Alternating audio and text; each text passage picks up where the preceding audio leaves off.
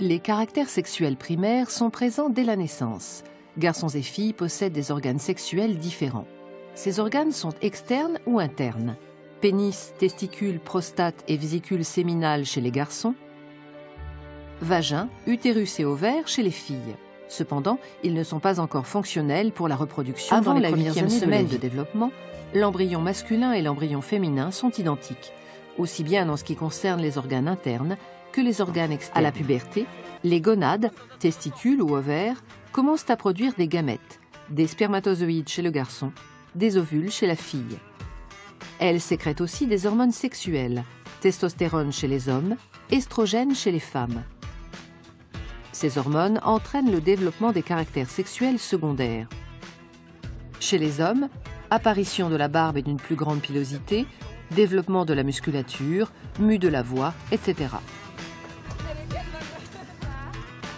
Chez les femmes, les seins se développent, les hanches et le bassin s'élargissent, une pilosité différente apparaît.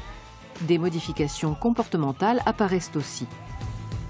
La mise en place des structures et de la fonctionnalité des appareils sexuels, c'est-à-dire du phénotype sexuel, se réalise donc sur une longue période qui va de la fécondation à la puberté en passant par le développement embryonnaire et fœtal.